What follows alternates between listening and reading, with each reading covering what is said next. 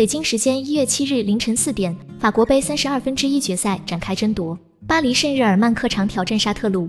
上半场，加尔比助攻埃基蒂克推射破门，加尔比爆射被扑出，恩托拉扳平比分，诺兰比鲁远射踢偏。下半场，富达劲射被纳瓦斯化解，诺兰比鲁的射门被封堵，鲁伊斯低射被门将没收，索莱尔补射破门，贝尔纳特小角度射门打进。最终，巴黎圣日耳曼三比一击败沙特鲁。巴黎圣日耳曼在缺少梅西、姆巴佩和内马尔的情况下，依然淘汰对手杀入下一轮。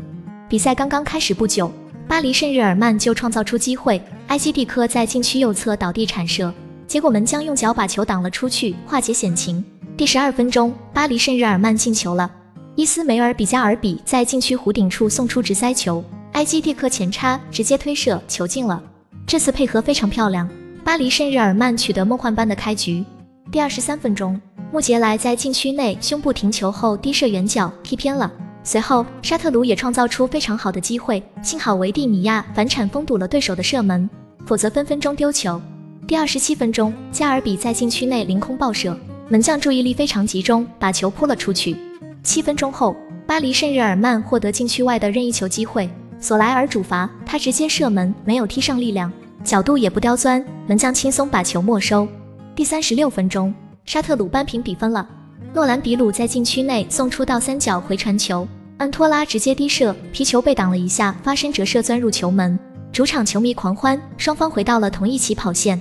五分钟后，诺兰比鲁禁区左侧转身抽射远角，踢偏了。半场结束，双方踢成一比一平手。下半场一边再战。第四十七分钟，富达在禁区左侧零角度抽射。纳瓦斯单掌把球拖出横梁，这次射门非常出其不意，幸好纳瓦斯反应够快。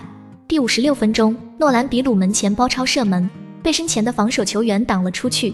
八分钟后，巴黎圣日耳曼进行换人调整，拉莫斯和鲁伊斯替补上场，比夏尔和加尔比被换下。第六十六分钟，鲁伊斯外围低射，踢得太正，门将没有移动就把球稳稳抱住。四分钟后，沙特鲁也进行换人，苏努和奥桑特替补上场。第七十七分钟，巴黎圣日耳曼再次取得进球，索莱尔在门前补射打进，这粒进球让加尔蒂埃松了一口气。补时阶段，贝尔纳特禁区左侧小角度抽射，球又进了，这粒进球彻底杀死了比赛。最终，巴黎圣日耳曼三比一击败沙特鲁。今天的节目就到这，如果您喜欢我们的节目，欢迎点击右下角订阅收藏不迷路。